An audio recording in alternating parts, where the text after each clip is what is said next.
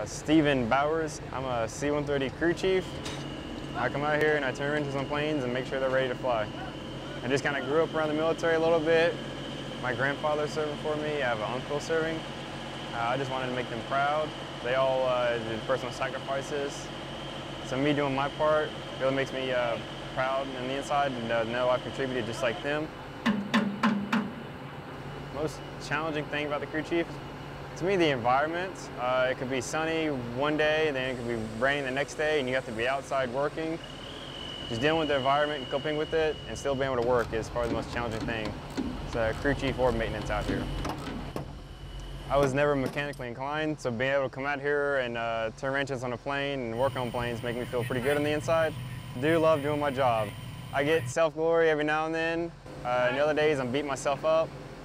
But uh, at the end of the day, uh, I like doing what I do.